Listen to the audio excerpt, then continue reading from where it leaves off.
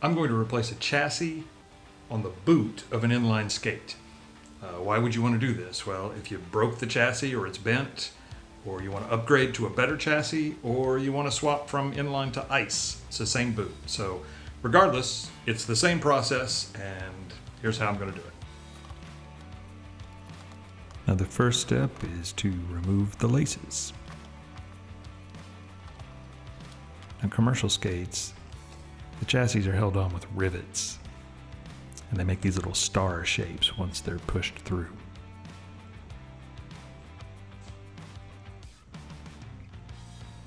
So all you have to do to get those out is to find something that fits kind of in the middle of that that will push it through. And I used a file that had a end that was made to go into a handle and it was just the right size to go into that hole, slightly bigger than the hole in the center of the rivet.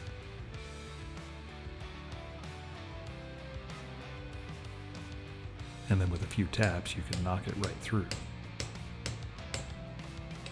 And once it goes through, the rivet usually is stuck to the end of the file or whatever it is you use.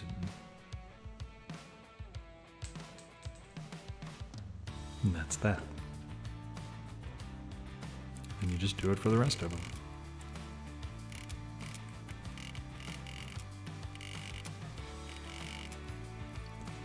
Since the file or whatever you're using won't fit down into the toe of the boot, you have to kind of carefully pry those rivets out without tearing the boot up. But it doesn't take too much once you've got the rest of them out. And these are my son's skates, and he was upgrading the chassis because he bent one. And he needed a thicker chassis. And he'd done this twice, so. This time he bought the more expensive ones. And you can tell they're thicker. And good news for me is they're made by the same people, so the holes line up exactly. Now I'm going to use number 6 32 3 8 inch bolts and T-nuts that go with it, and some lock washers. And just for extra surety, I'm using some Loctite. Now the little things that stick up on the T-nut, those are too long. They'll stick through the bottom. So I just took some wire cutters and snipped them off. They're not completely flat, but they are thin enough that they won't go all the way through the sole while still gripping.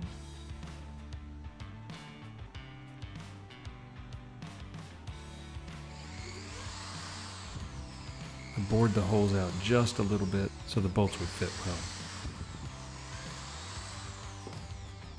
Because they were slightly bigger than the holes that were in there already.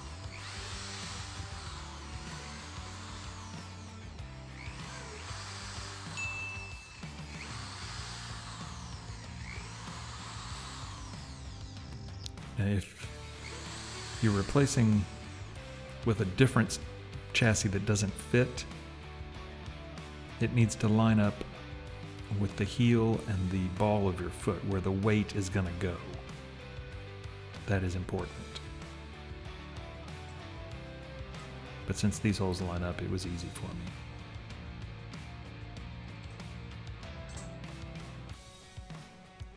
Now, some people said you had to use longer bolts for the heel than you did for the toe.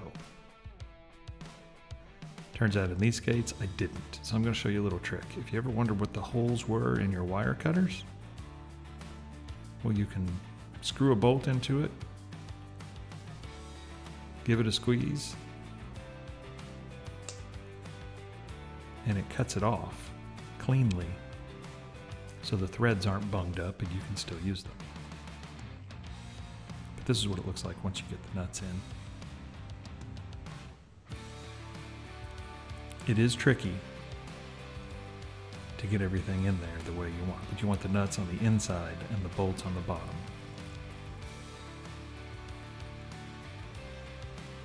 That's why you don't want them too long because they'll be poking you in the bottom of the foot.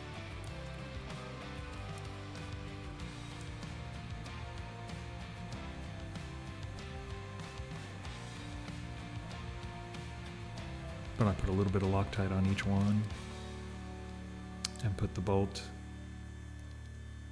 up into the boot with the nut on the inside and a lock washer in between. And tightened them down real well. Used a little bit of spray adhesive on the insert just so it won't slip, so it'll stay in there and stay where it's supposed to be without wrinkling up under his foot.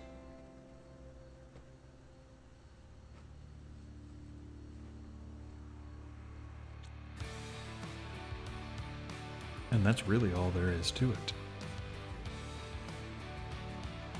It took me probably a little less than an hour to do both skates.